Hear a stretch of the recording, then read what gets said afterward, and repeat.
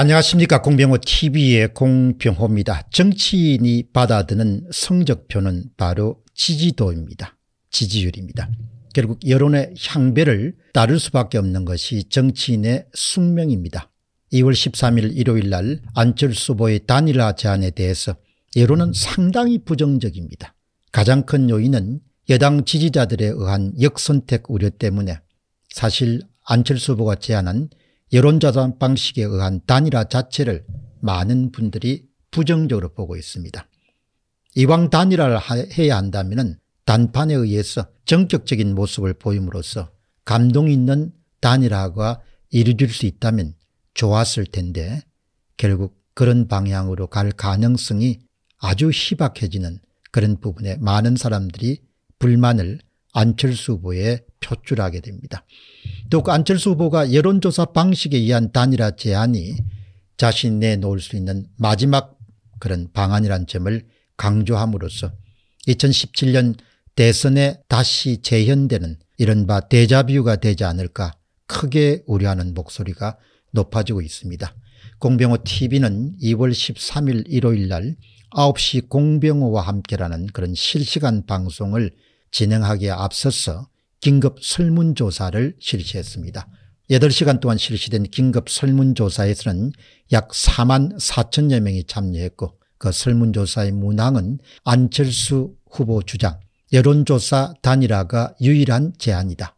국민의 힘당 반응 역선택 우려 거절 안철수 후보의 주장 여론조사에 대한 단판이면 몰라도 무엇을 포기하라는 식은 안 된다고 반발 여러분께서는 안철수 후보의 여론조사 단일화 제안에 어떤 생각을 갖고 계십니까 4만 4천여 명이 설문조사에 응했고 그 가운데 압도적인 다수인 86%가 안철수 후보의 제안이 올바르지 않다 이렇게 주장했습니다. 그것은 다르게 이야기하면 여론조사 단일화 제안은 옳지 않다는 것입니다. 반면에 12%가 안철수 후보의 제안이 올바르다 이렇게 답했습니다.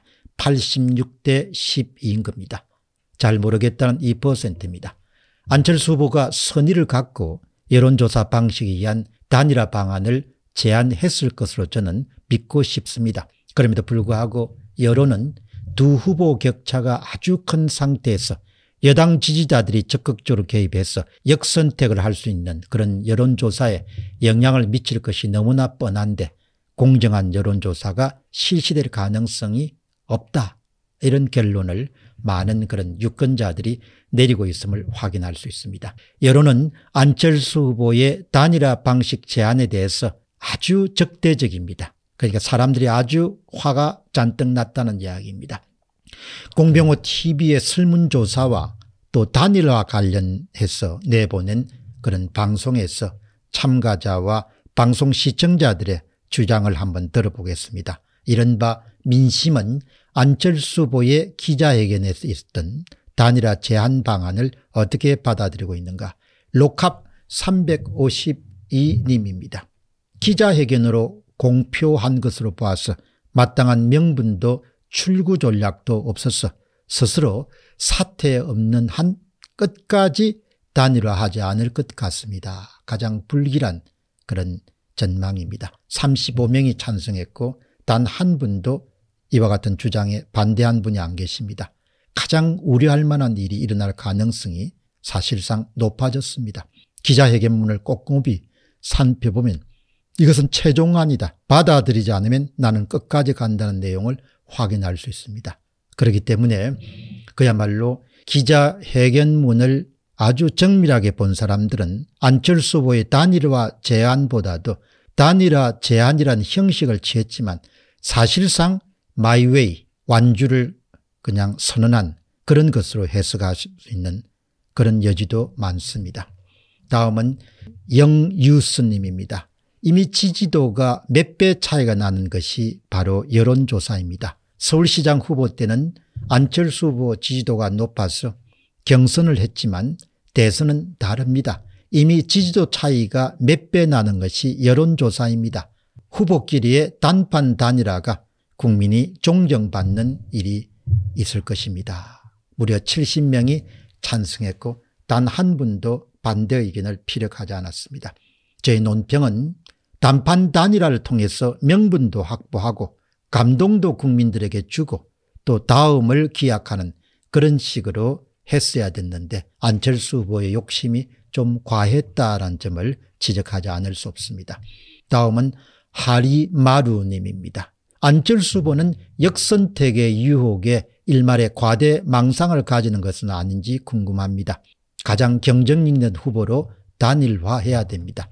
현재의 전체적인 여론조사에 누가 가장 강력한지는 뚜렷하게 나옵니다. 윤 후보와 안 후보의 단일화를 놓고 이론 경선을 하게 되면 역선택을 누가 봐도 뻔하지 않습니까 17명이 찬성하고 단 한 명도 반대하지 않았습니다. 그러니까 뭐 새롭게 여론조사를 하지 않더라도 그동안 숱하게 실시된 여론조사를 평균치만 내더라도 결국은 안철수 후보가 경선 레이스를 접는 것이 올바른 이야기라는 것이죠. 물론 지지자 쪽에서는 섭섭한 분도 계시겠지만 그것이 합리적이라는 겁니다. 17분이 찬성했지만 반대는 단 한 분도 없습니다. 김수자님은 단판 단일화로 문제를 해결해야 됩니다. 여론조사는 역선택 때문에 문제가 너무 많습니다. 30여 분 정도가 찬성했고 단 한 분도 반대하지 않았습니다. 양식 있는 시민들은 대부분 역선택 문제를 정확하게 주목하고 있는 겁니다. 다음은 김복희 님입니다. 서울시장과는 전혀 다릅니다. 윤석열 지지자가 훨씬 많은 만큼 여론조사로 방향을 전환하게 되면 역선택이 존재하기 때문에 절대로 그 방향을 가서는 안 되는 겁니다. 그런데 너무 염치 없는 조건이라고 봅니다. 그렇게 쉽게 이야기하면 안철수 후보의 단일화 방안 제안이 너무나 염치가 없는 파렴치한 그런 제안이다 이렇게 본 겁니다. 무려 70명이 찬성을 표하고 단 한 명도 반대가 없습니다. 서철은 시민은 지금까지 대선 여론조사 결과가 충분한 판단 근거를 주는데 새삼 무슨 여론조사를 한다고 그럽니까? 솔직한 답변이죠. 27분이 찬성하고 단 한 명도 반대가 없습니다. 제 논평은 사람들은 역선택과 두 후보 사이에 현존하는 엄청난 지지율 격차가 있음을 분명히 지적하고 여론조사를 추가적으로 할 필요가 없이 그동안 이루어진 여론조사를 참조하는 것만 하더라도 단일화의 주역이 누가 되고 조역이 누가 돼야 된다는 사실은 이미 다 공지의 사실이란 점입니다. 다음은 허순영님입니다. 그동안 대선판을 여러 번 제가 겪어봤습니다마는 이번 대통령 선거처럼 국민들께서 정권교체에 목을 메고 외치며 간절했던 대선판은 처음인 것 같습니다. 대다수 국민의 염원은 정권 교체 희망을 안철수 후보는 저버리지 마시기 바랍니다. 안철수 후보의 아주 현명한 판단을 기대하겠습니다. 50분이 찬성하고 단 한 분도 반대가 없습니다. 자유민님은 지금까지 많은 여론조사를 참조하면 대체로 윤석열 후보는 40% 내외 안철수 후보는 10% 이하로 큰 차이가 납니다. 그런데 또다시 여론조사를 해서 단일 후보를 결정하는 제안은 검은 속셈이 아니고서는 어려운 제안입니다. 역선택의 덕을 보자는 의도가 아닌가 하는 그런 의혹까지 듭니다. 역선택을 배제할 최소 확실한 대안이 없는 이상 여론조사 방식을 통한 단일 후보 결정은 엄청난 화를 부를 것입니다. 21분이 찬성하고 단 한 명도 반대가 없었습니다. 여러분께서 여러 시민들의 의견을 보다시피 시민들은 그 어떤 정치인보다도 현재 대선판 특히 단일화와 관련된 이슈에 대해서 정확한 판단을 하고 있음을 우리가 알 수 있습니다. 집단지성이란 측면에서 보면 은 정말 이런 제안이 있고 난 다음에 많은 국민들이 주요 언론이나 유튜브 방송에 남긴 그런 내용만 충분히 제대로 참조하더라도 안철수 후보가 어떤 선택을 해야 되는지 이런 부분을 쉽게 알 수 있다고 봅니다. 아무튼 자신의 사적 욕심을 많이 내려놓을 때 사람은 매사를 중립적이고 객관적이고 그리고 공정하게 볼 수가 있습니다. 이런 분에서 보면 은 안철수 후보가 또다시 역적이라는 그런 소리를 듣지 않기를 바라는 마음 간절합니다. 이번 대선은 역대 그 어떤 소때보다도 대한민국의 진로와 관련해서 지금 세대와 다음 세대에게 너무나 중요한 그런 선거입니다. 이런 선거에서 힘을 합치는 것이 국민의 도리이고 또 배운 사람의 도리이고 또 지도자의 도리라고 봅니다. 공병호 TV의 공병호였습니다. 감사합니다.